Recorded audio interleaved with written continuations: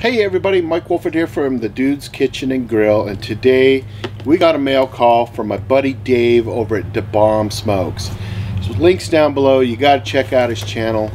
He ran a contest here not too long ago because he passed 500 subscribers, and I was the lucky one.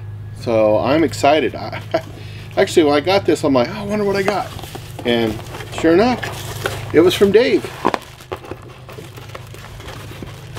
I am really looking forward to using this book.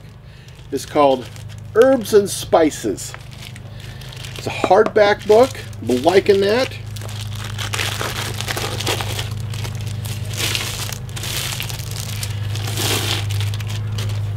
I could see this book is going to get a lot of use. I mean, it's got things from like dill in it, right? That's the first page I turned to. I haven't even opened this yet. Oh, saffron. I mean, come on, guys. This is crazy. I'm opening stuff up, and it's just like stuff I want to learn how to cook with. Great pictures in this book, too. Digging this.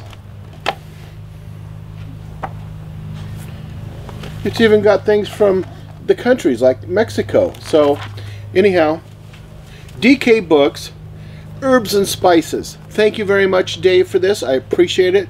Mrs. Dude and I are going to have a blast with this. Um, I'm really looking forward to doing some cooking with this. All right, guys. Please check out Dave's channel, Da Bomb Smokes. The link's below.